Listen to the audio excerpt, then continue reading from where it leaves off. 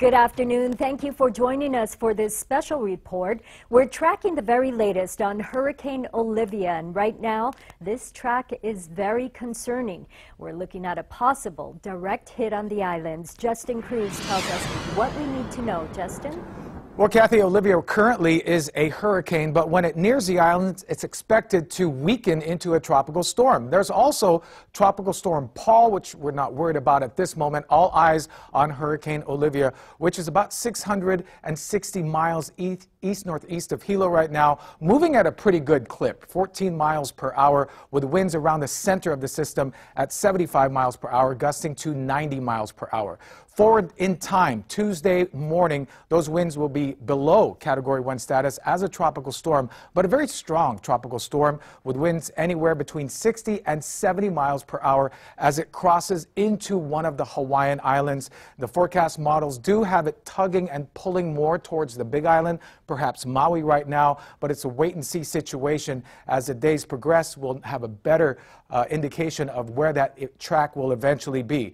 In terms of steering for Hurricane Olivia. There's high pressure to the north, and that's going to prevent it from hooking to the north like Hurricane Lane did last week. So we anticipate and expect that westward track to continue because high pressure to the north is just so strong and it's actually forecast to strengthen. So what we have is a hurricane that at least for now is very healthy. We've seen the eye pop in and out. It has 75 mile per hour winds. There is warmer waters ahead that would lead to possible strengthening but also low wind shear. And so we'll see how that wind shear starts to interact with Olivia as a hurricane, hopefully weakening sooner rather than later. So potential impacts, the timeline for you to prepare. Largest surf arriving early Tuesday and Wednesday. The heaviest rain looks to be around the late Tuesday and Wednesday timeframe. Same with the strongest winds. Now that rain, again, still far offshore with Hurricane Olivia, but the future radar does show the core of that shower activity starting, at least the outer fringes starting to affect the islands by Tuesday evening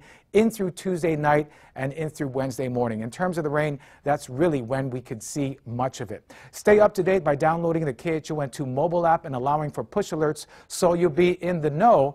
And coming up, we'll have a question and answer segment with my pal, Dr. Alison Nugent from the University of Hawaii. That's later. Kathy, back to you.